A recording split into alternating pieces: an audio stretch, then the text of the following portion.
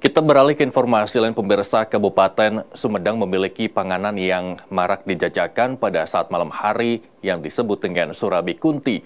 Kuliner ini banyak disukai warga karena selain harganya terjangkau, bahan yang digunakan serta pembuatannya masih menggunakan cara tradisional. Seperti inilah suasana setiap malam di salah satu kedai kuliner tradisional yang menjual kudapan berupa surabi. Kedai surabi ini cukup unik lantaran diberi nama Surabi Kunti. Kedai Surabi Kunti yang berada di kawasan Ranca Mulia, Kecamatan Sumedang Utara, Sumedang, Jawa Barat ini cukup populer dan kerap dikunjungi pembeli setiap malamnya. Dinamakan Surabi Kunti bukan berarti penjualnya merupakan makhluk halus berwajah seram. Namun karena makanan ini dijajakan pada malam hingga dini hari. Pembeli yang datang bukan hanya dari Sumedang, ada juga yang datang dari luar wilayah, terutama para pengendara yang melintas di Jalan Raya Sumedang Wado. Para pembeli mengaku Surabi Kunti memang cukup terkenal di Sumedang. Selain terkenal, rasa Surabi Kunti ini sangat enak dengan varian toppingnya serta memiliki tekstur yang lembut. Menurut aku surabinya enak, terus juga banyak variannya yang enggak kayak di serabi-serabi yang lainnya.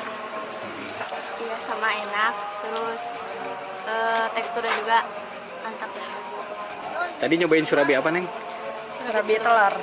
Surabi telur. Ya. Emang surabi kunti ini terkenal neng? Iya terkenal.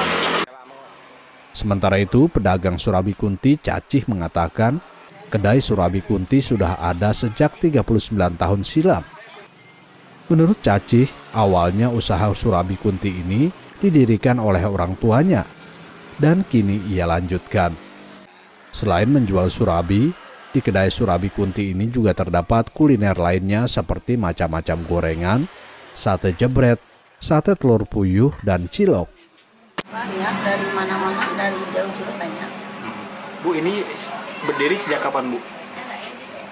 Sejak tahun berapa kalau sampai sekarang teh maju 16 tahun nerusin oh nerusin dulunya sama Sima hmm. Harga surabi kunti ini berbeda-beda tergantung topping pesanan pembeli, mulai dari harga 3.000 hingga 7.000 rupiah. Berani mencoba makanan dengan nama seram ini? Tak ada salahnya jika Anda berkunjung ke Sumedang untuk singgah ke kedai surabi kunti ini. Dari Sumedang, Jawa Barat, kontributor Nusantara TV Aang Anda Nugraha melaporkan.